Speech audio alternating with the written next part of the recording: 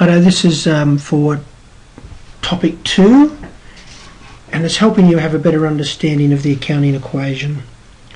Um, I said this, uh, the lecture this morning was really important to see a replay of, and then I realised uh, how poor it was because I spent most of the time on the blackboard, so none of that information was recorded. So I thought I would put that information down here.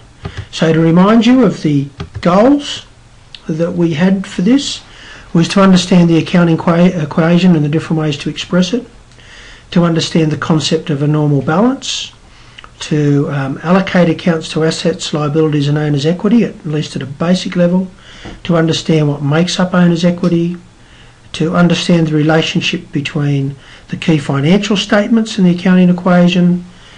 Um, what I'm not going to address in here is these, they'll be in the lecture tomorrow.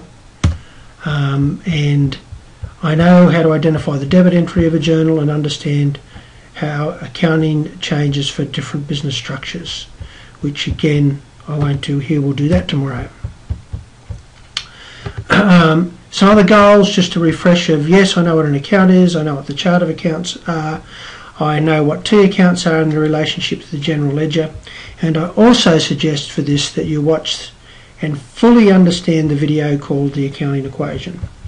It goes for 13 minutes and 2 seconds. Righto, let's get into the transactions that we have here and let's see what you're given. Number one, you're given the chart of accounts. So we've only got six accounts, cash at bank, motor vehicle, accounts payable, owner's equity, revenue and expenses. So cash at bank and motor vehicle are assets. I hope that makes sense. That's something you own. Something you owe, accounts payable, that's liabilities. And owner's equity capital account, that's a summary of all your owner's equity. Now, subparts of owner's equity capital are revenue and expenses. So increases in revenue, increase capital, um, increases in expenses, reduce capital. So there's your chart of accounts. An account is anything that we want to record information on. So we want to know how much money we have in the bank. We want to know what money people owe us. So we set up an account for those things. and all the accounts together is called the chart of accounts. Then we have transactions and we bring transactions to uh, account in a journal, which will be down here. We won't do that next, uh, first.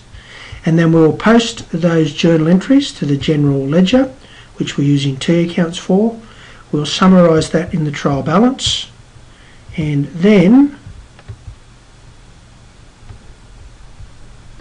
and then we will do um, the financial statements which will be the income statement and the balance sheet, and as well as in the middle of the statement of changes in equity. Right, the first thing though we're going to do is look at the accounting equation um, and look at the impact of transactions on it. So accounting equation is assets equals liabilities plus owner's equity. So we could put an equal sign in there. You could put an equal sign in there and a plus sign in here. So assets equals liabilities plus owner's equity. Let's see what happens. Transaction, um, the owner puts $1,000 into the business. So that's an asset, $1,000. And um, because the owners put $1,000 in the business, they have equity of $1,000. So we can see that the owner's equity of 1000 is represented by the asset of $1,000 cash. Then we purchase a vehicle on credit for $2,000. I haven't got that in here on credit, but $2,000. So what do we have? We have an asset of $2,000 and we have a liability of $2,000. And I'm going to count this liability as an account payable. So purchase a vehicle on credit. I'll just blow this up a little.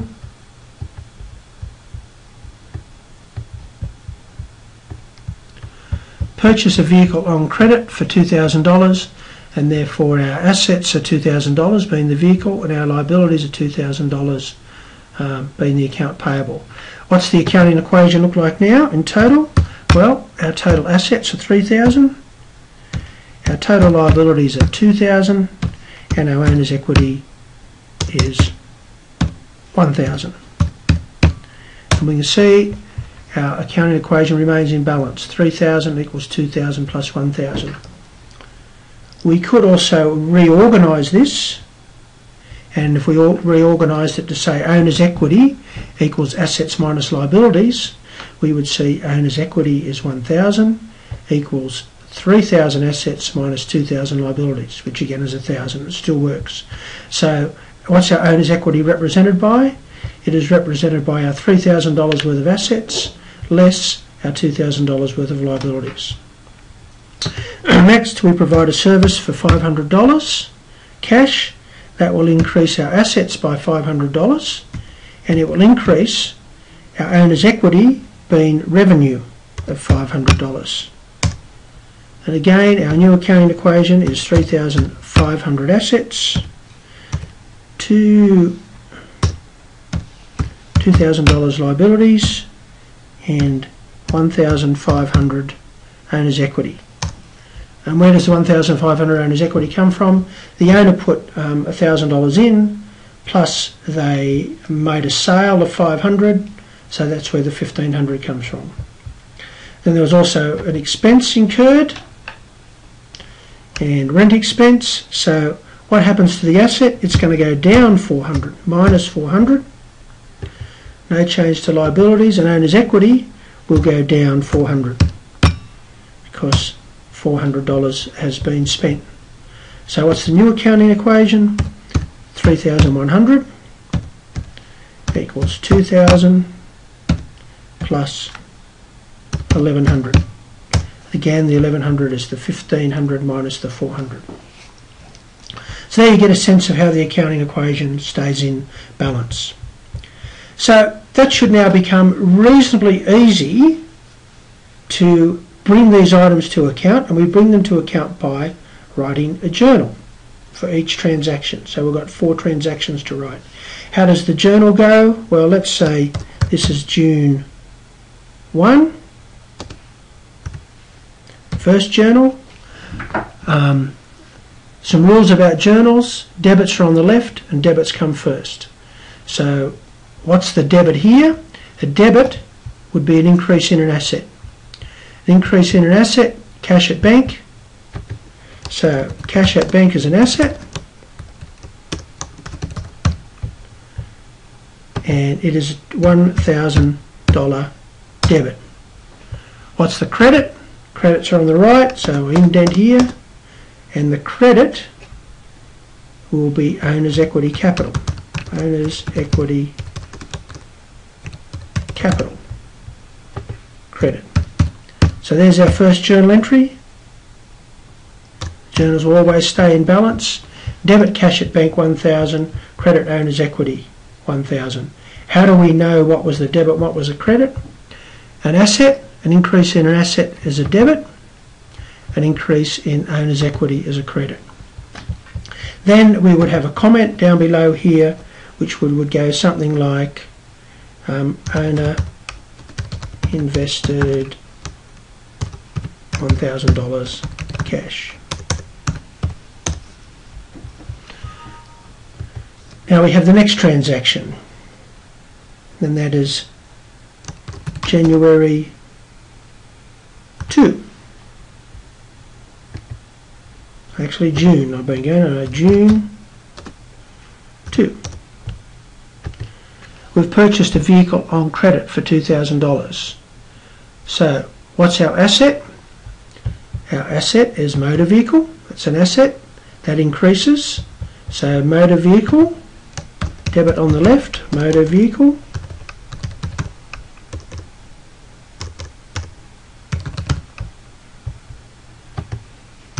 $2,000 and we're going to have a credit of $2,000 and what will that be? That will be accounts payable.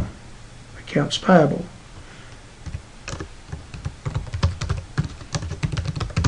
payable $2,000 and the comment will be purchased vehicle for credit. Next journal we have will be June 3 and that is um, cash sale. So what's the debit? Cash at bank increases.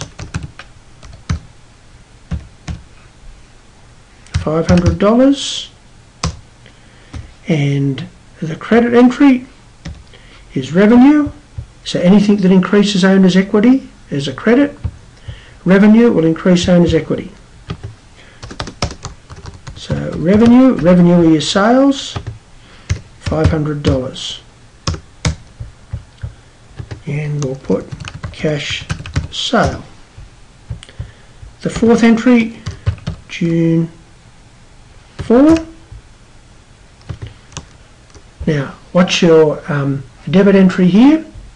Well, our bank is going down, so our bank is in fact going to be a credit. One, two, three, cash at bank. Our bank has gone down $400 to indicate a fall in an asset. We make that a credit. So credit $400. And what will the debit be?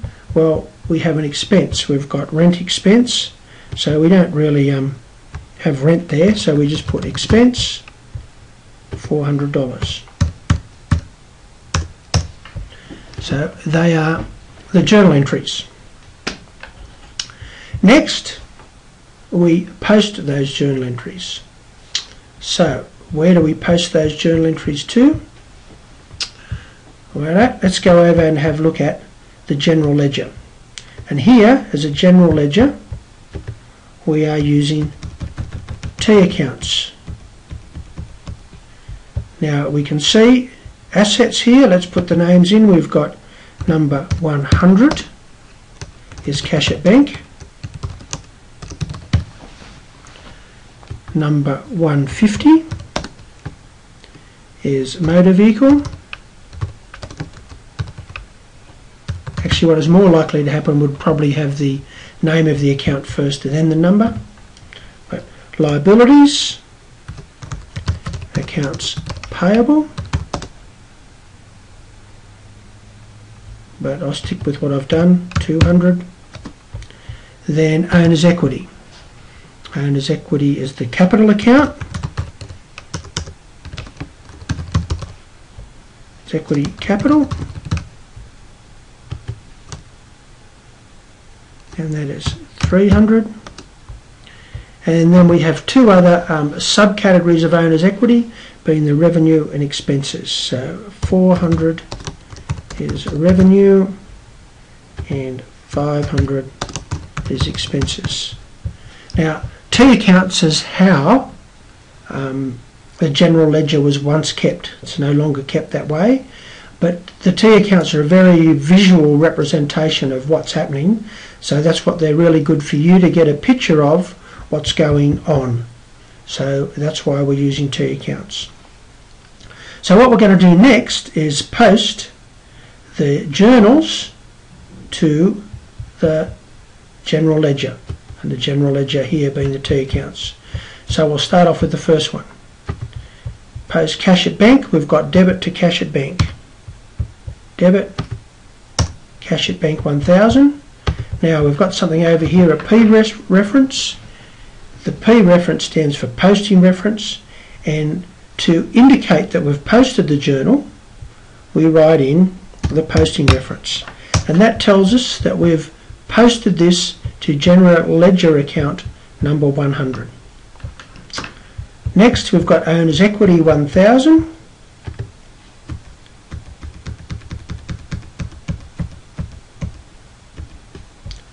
So uh, credit, uh, owner's equity, 1000 and to indicate we've posted that that's 300 I'm just going to make this a little bit smaller still so we can fit some in. Next we have account payable. So we have motor vehicle asset debit 2000 and we have credit to accounts payable 2000 so you can see debits are on the left credits are on the right. That's applicable for the accounting equation in big picture.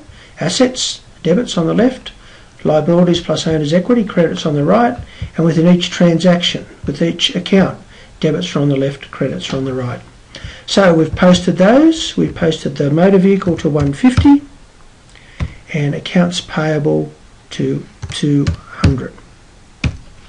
Next, we have cash at um, bank. We need to post that. So 500. So we post this item, $500, cash at bank, and we can put in here 100 to indicate we've posted that. And then we need to post to the revenue. Sorry, uh, yeah, revenue. And the revenue we can see is a credit over here. Credits are on the right, 500, and that is account 400. Just one more journal to post. And that is expenses are 400. So we go expenses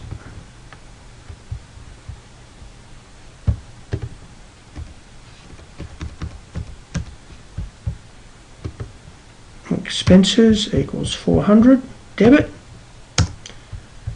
and cash at bank is 400 credit. Now that's been posted to account 100 and this has been posted to account 500. So what have we done so far? We've um, had a chart of accounts which we've used to set up our general ledger. We've had a number of transactions and what we firstly did, which you typically don't do, but this was just so how you could see the relationship to the accounting equation, we saw how each of those transactions impacted on the accounting equation. Then we recorded those transactions in the general journal and then we posted them to the general ledger. Now we're going to summarise the general ledger in the trial balance. Now, there's some other things we may notice in the meantime. That the accounting equation will still stay in balance. Let me do one thing first in T accounts. We need to transfer that 400 over that side. So what do we do? We take um, $400 off each side, minus 400. So that's become zero, and often we, yeah, and then we go minus 400 on this side. So we'll come up with now a total, which is 1100.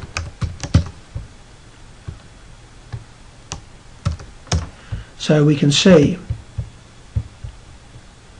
our balance there is 1100. So if we add up our assets, we can see the total of our assets are 3,100. The total of our liabilities are 2,000 and we can see the net eh, total of our owner's equity is 1,000 plus 500 is 1,500 minus 400 is 1,100. So the total of our owner's equity is 1,100 plus uh, liabilities 2,000 equals total of our assets 3,100. But we'll now record that in the um, trial balance. So what do we do with the trial balance? Well, debits are on the left, credits are on the right. Let's put the debit balances in. Um, cash at bank is 1100.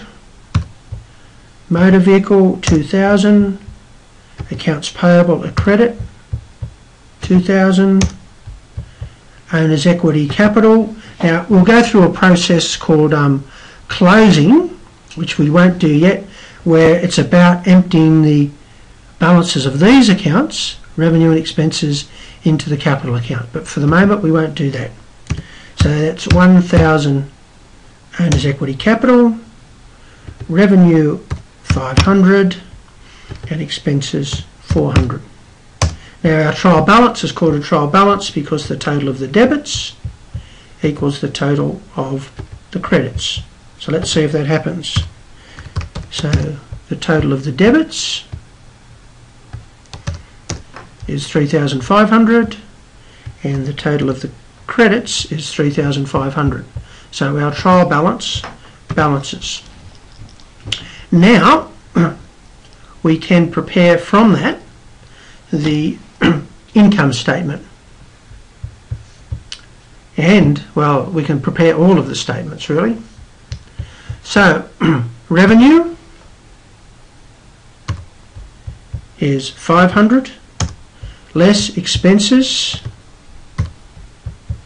400 give us gives us a profit of 100 so that's the income statement. Now we only had one revenue and one expense account so that was fairly straightforward. Then we look at the statement of changes in equity. Statement of changes in equity. Opening balance was zero. Capital introduced was 1,000.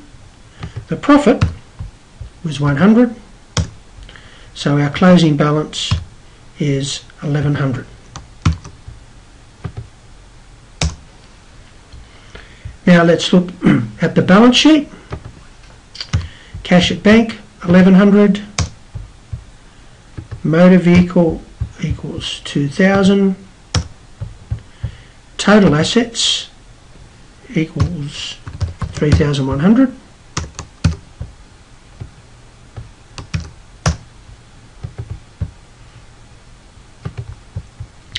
liabilities we only have got one liability accounts payable and our equity account well our equity account we've come from the closing balance of equity which took into um, account all of these items down the bottom. So our total liabilities and equity is 3,100 and our balance sheet balances. So now if you look at the accounting cycle you have a transaction you record the transaction in a journal you post the journal to the ledger the general ledger, you summarise the general ledger in the trial balance, and from the trial balance you prepare the financial statements. There's one other thing I would like to point out, or at least one other thing I'd like to point out, is these accounts at the top, uh, from there up are what's called permanent accounts, and this would make sense. Um, cash at bank, if you've got $1,100 in your bank at the end of the financial year, you start the new financial year, then you've still got $1,100 there. So that's a permanent account. Whereas revenue, if you had total revenue for one year for $500, that's your total revenue for the year. But the next year, we want to start again and measure our revenue for that year. So we empty that out and we start again. Where do we empty it out to? Well, these are all subsets of owner's equity uh, of owner's equity. So we empty our revenue exp and expenses into the capital account. So in the end, we summarise all owner's equity in the capital account. And at the end of the year, this is a process called closing. There's one other uh, step in the accounting cycle, which we'll look at later on, which is the adjustments. And also you'll notice when you do the assignment that we don't do most transactions in the general journal, we do them in special journals. But what you've just worked through is the accounting cycle pretty much in total with a few things that we've jumped over. Now, if you wished to go back and have a look at um, the Lecture 2 Camtasia Relay um, video, well, it would probably make a lot more sense now. and I did say a few things in there that probably are of value. Bye.